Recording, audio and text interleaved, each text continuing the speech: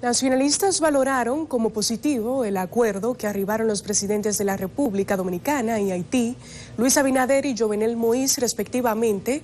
Sin embargo, dijeron tener sus reservas con algunos puntos. Yagmi Minaya nos tiene los detalles en la siguiente historia.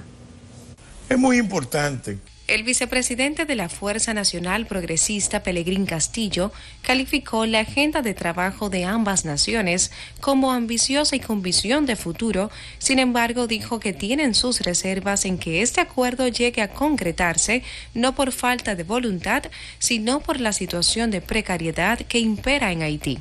Manifestó que de los puntos que abarca el convenio tiene especial importancia la construcción de barreras físicas en la frontera para evitar el trasiego de personas indocumentadas, drogas y otros productos ilícitos.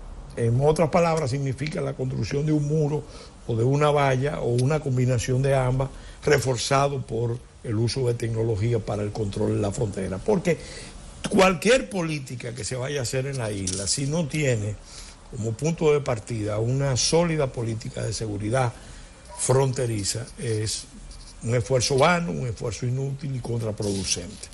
Otro punto de relevancia para Pelegrín Castillo es la documentación de nacionales haitianos en la medida de que se deshaga la campaña malsana de que hay apátridas en República Dominicana. Sí advertimos que sería contraproducente que en estas circunstancias el gobierno dominicano, a partir de una iniciativa de este tipo, pretenda reabrir el plan de eh, documentación, de regularización eh, migratoria, porque todos sabemos que la situación de la isla es muy complicada y aquí lo que más necesitamos es reducir esa presencia que ya desborda la capacidad del Estado dominicano.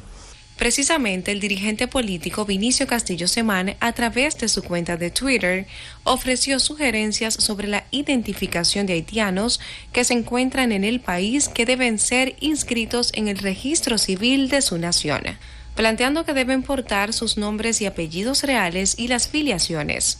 Al tema también se refirió el jurista Juan Miguel Castillo Pantaleón, quien exhortó a todos los dominicanos a saludar dicho acuerdo. Sin embargo, dijo que independientemente de felicitar al gobierno dominicano, hay que exigirle el seguimiento de esos compromisos.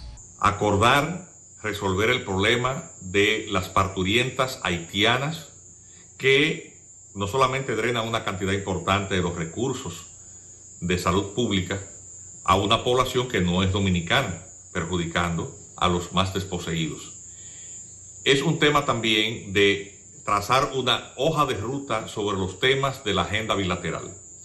Habrá que preguntarse si el Estado haitiano está en condiciones de poder cumplir con todo aquello que figura en esa declaración de intención, puesto que el presidente Moïse termina su mandato el 7 de febrero el acuerdo firmado por Abinader y Moïse contempla nueve puntos, entre los que se destacan la construcción de hospitales en la frontera, la lucha contra el trasiego ilegal de personas, el reforzamiento de los temas comerciales, entre otros. Jacques Minaya, CDN.